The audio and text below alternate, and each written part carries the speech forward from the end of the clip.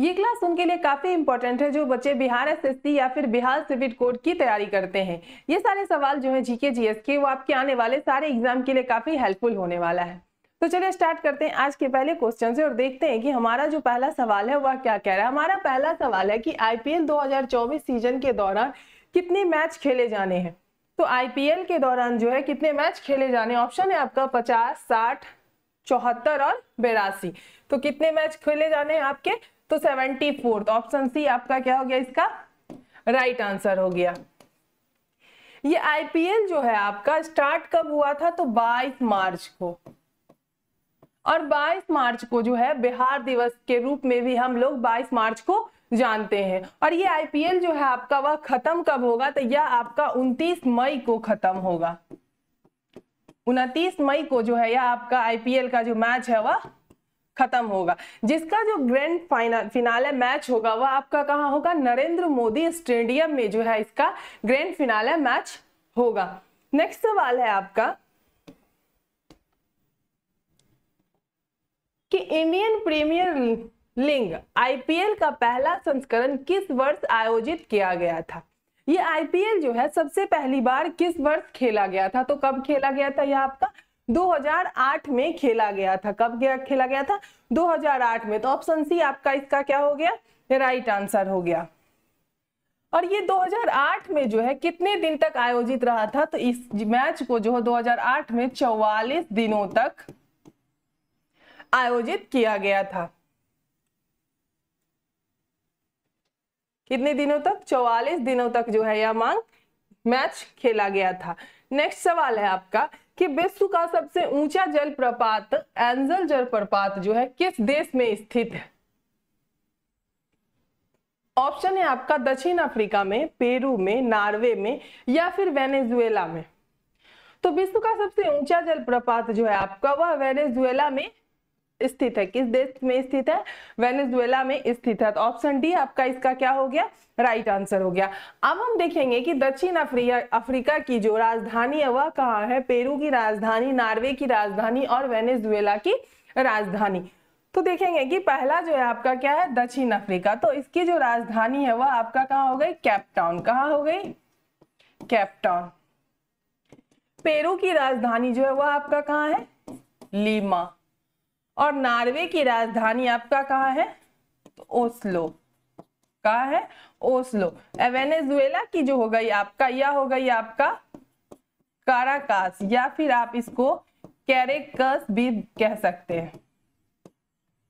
अब आप लोग के मन में चल रहा होगा कि ये सारे राजधानी और राज्य क्यों बता रहे हैं, या फिर देश और राजधानी क्यों बता रहे हैं? तो क्योंकि एग्ज़ाम में आपका तो कोई लिमिट नहीं है ना कि जीके जीएस से कहाँ से क्वेश्चन जो है वह आ सकता है। तो आप लोग अभी एग्ज़ाम का कितने दिन बच गया? अगर जून में देख लेते हैं इलेक्शन का जो वोटिंग आ जाता है इलेक्शन रिज़ल्ट आ जाता है जून में तो आपका एग्ज़ाम कब ले लेगा? जून लास्ट या फिर जुलाई फ़र्स्ट वीक में या फिर जुलाई में आपका एग्ज़ाम ले लेगा? तो कितने दिन बच गए? दो महीने, क्योंकि अप्रैल तो खत्म हो गया। अब हम अगर हम चाहेंगे इस दो महीने में कुछ नया पढ़े तो ये तो पॉसिबल है नहीं। तो क्या करना पड़ता है ना? जो आप लोग क्या, जो रिविज़न जो होता है ना तो वो रिवीजन करते रहना चाहिए। तो इसी से आपका रिवीजन हो जाएगा। इससे क्या होगा, आप जो कभी भूल गए होंगे या पढ़े होंगे, उसको बार बार देखना पड़ रहा होगा।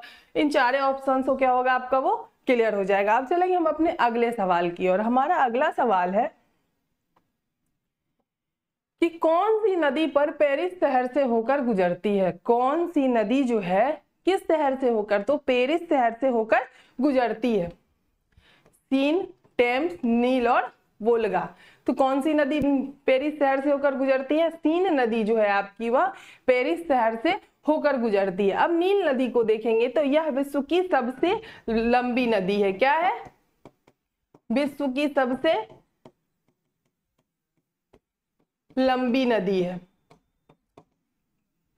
नेक्स्ट देखेंगे हम आपका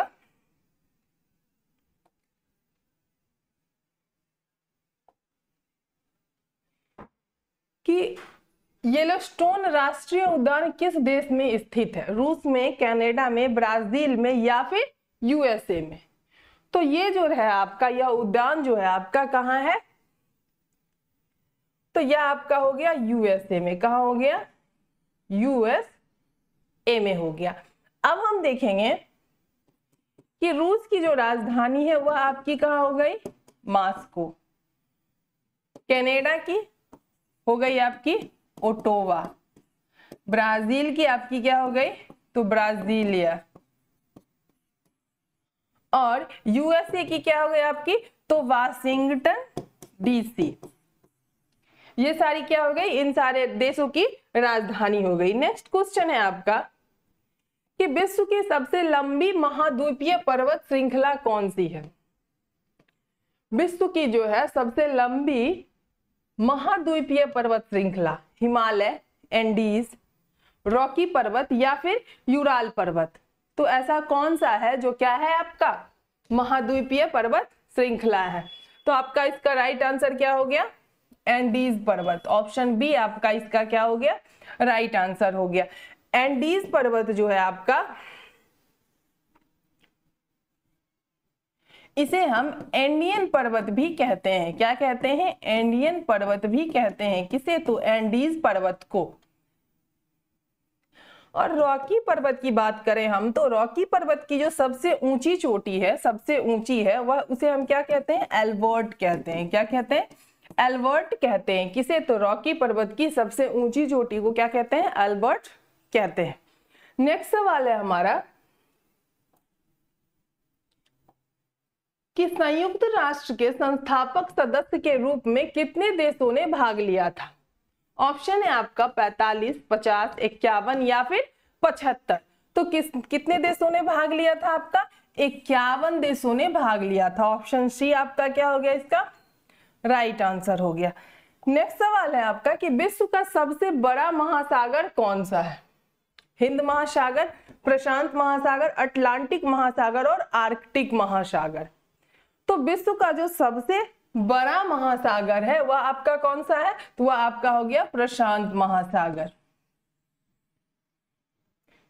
नेक्स्ट है आपका कि विश्व का सबसे छोटा महासागर कौन सा है? बड़ा कौन सा हो गया आपका? प्रशांत महासागर हो गया। तो सबसे छोटा महासागर कौन सा है? भारतीय, प्रशांत, अटलांटिक या फिर आर्कटिक? तो कौन है सबसे छोटा महासागर? तो वह आपका कौन सा हो गया? आर्कटिक महासागर जो है वह सबसे छोटा महासागर है। ऑप्शन डी आपका इसका क्या हो गया? राइट right आंसर हो गया। नेक्स्ट है आपका कि मृत सागर किन दो देशों के बीच स्थित है? मृत सागर जो है वह किन दो देशों के बीच स्थित है? जॉर्डन और सुडान, जॉर्डन और इसराइल तुर्की और संयुक्त अरब अमीरात, संयुक्त अरब अमीरात और मिश्र तो मृत सागर जो है आपका, वह जॉर्डन और इसराइल के बीच स्थित है। तो ऑप्शन बी आपका क्या हो गया इसका? राइट आंसर हो गया।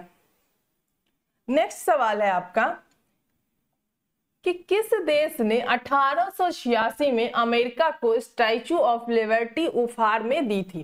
फ्रांस, कनाडा, ब्राज़ील या फिर इंग्लैंड? तो किसने दी थी? फ्रांस जो है, वह क्या किया था? अठारह में जो है, अमेरिका को स्टैचू ऑफ़ लिबर्टी का उपहार दिया था। किसने? तो फ्रांस ने। तो ऑप्शन ए आपका क्या हो गया इसका? राइट आंसर हो गया। और 1885 में क्या हुआ था? तो भारतीय राष्ट्रीय कांग्रेस की स्थापना हुई थी। 1885 में किसने किया था? तो ए ओ ह्यूम ने। किसने किया था? ए ओ ह्यूम ने जो है भारतीय राष्ट्रीय कांग्रेस की स्थापना की थी कब? तो अठारह ईस्वी में। नेक्स्ट क्वेश्चन है आपका। कि बारमुंडा ट्रायंगल क्षेत्र किस महासागर में स्थित है? अटलांटिक महासागर में, भारतीय में प्रशांत महासागर में या फिर आर्कटिक महासागर में? तो बारमुंडा ट्रायंगल जो है आपका, वह कहाँ स्थित है? अटलांटिक महासागर में वह आपका स्थित है। कहा स्थित है? अटलांटिक महासागर में। नेक्स्ट क्वेश्चन है आपका, कि किस देश को land of the midnight sun भी कहा जाता है? ऐसा कौन सा देश है जिसे क्या कहा जाता है? तो land of the midnight sun भी कहा जाता है। ग्रीनलैंड आइसलैंड आयरलैंड या फिर नार्वे तो किसे कहा जाता है आपको? तो नार्वे को कहा जाता है। किसे कहा जाता है? नार्वे को कहा जाता है। ऑप्शन डी आपका इसका राइट आंसर हो गया। नेक्स्ट है कि किस देश को यूरोप का खेल का मैदान कहा जाता है? ऑन्ट्रिया को, हॉलैंड को, स्विट्जरलैंड को या फिर इटली को? तो किसे कहा जाता है आपका? स्विट्जरलैंड को जो है वह क्या कहा जाता है? तो यूरोप का खेल का मैदान जो है वह स्विट्जरलैंड को कहा जाता है। नेक्स्ट सवाल है हमारा कि किस देश को उगते सूरज की भूमि भी कहा जाता है? उगते सूरज की भूमि किस देश को कहा जाता है? किस देश को कहा जाता है? जापान को, न्यूजीलैंड को, फिजी को या फिर चीन को? तो किसे कहा जाता है? जापान को जो है वह उगते सूरज का देश कहा जाता है। तो ऑप्शन ए आपका क्या हो गया इसका? राइट आंसर हो गया। और जापान की राजधानी कहाँ हो गई आपकी? तो टोक्यो। कहाँ हो गई?